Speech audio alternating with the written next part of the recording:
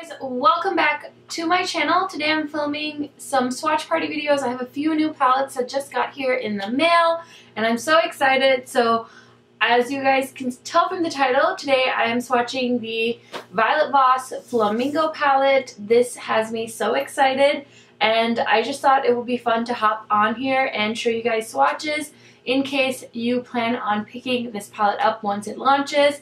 I do want to have a full review and everything up for you guys soon. I'm actually wearing the palette on my eyes today. This look was inspired by Puffin's wife. If you haven't seen her YouTube channel, she is so beautiful and she is so quick to review stuff. So if you want like the latest, latest, latest, she's the girl to watch. But yeah, I just thought it would be fun to go ahead and swatch this for you guys. So let's go ahead and get started. I know if you guys are like me, this is like a breath of fresh air for Violet Voss. I am such a huge fan of theirs, but I haven't bought anything new from them since the Ride or Die palette, which is the last palette I purchased from them. Nothing has really called out to me the way this palette did, so I'm so glad they did something new like this. So let's go ahead and swatch. And I really like the mattes in this palette so far. I usually don't put the shadows on my eyes until after the swatch party. But I was kind of lazy this weekend and didn't film anything, so I figured I would start playing with the palette so I could get you a review faster. But uh, the first shade is called Flamingos, and then we have Donut, we have Flip Flops, and Bikini. So those are the first four shades in this palette. Okay, so the next row is kind of the blue, Pops of Blue row. And a beautiful pink color as well let me just swatch. So this is the shade I'm wearing as my transition today. It's Ocean Front. Then there's a beautiful shimmer shade called Tidal Wave, and that's gorgeous. And then we have this teal called Beach Ball. And there they are. And then the last shade is called Watermelon, and it's super beautiful pinky like coral shade. So there you can see them. I really like Tidal Wave in the swatch. I was thinking I was having a hard time with these shimmers, but they actually work okay when you pick them up with your finger. I was having a hard time trying to use a brush with them, so maybe once I like peel off that top layer, it'll be a little bit easier for me. Next is a beautiful yellow row. So that is what that row looks like. Let me swatch. These sleeves are so obnoxious.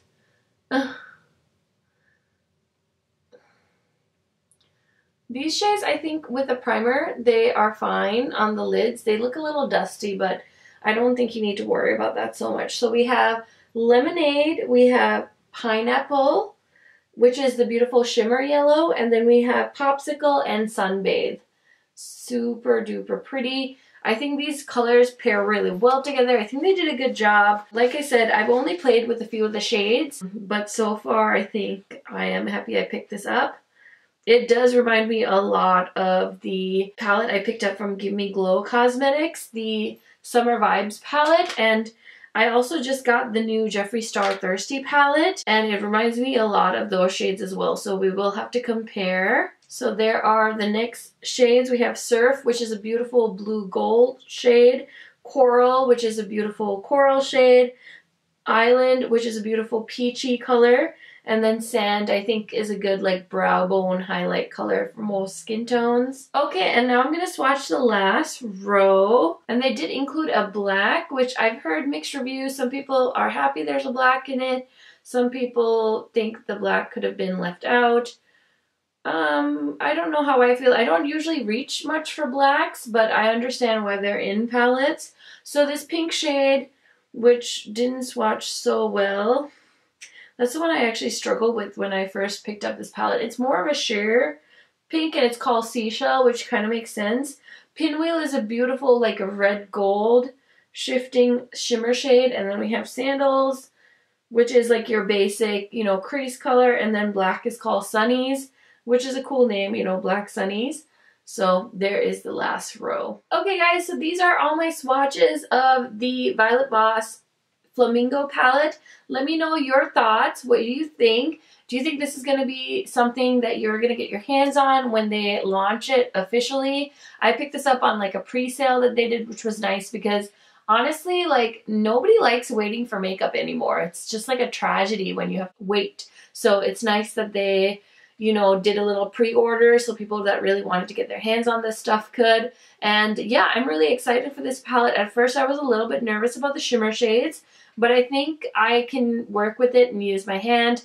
And maybe once I get past that first layer, things should work okay. Yeah, I really am excited and I can't wait to bring you guys a full review. So thank you so much for watching this video. If you enjoyed it, definitely give it a thumbs up. Don't forget to subscribe to my channel and uh, let me know if you're planning on picking this palette up and I will see you in the next video. Bye guys!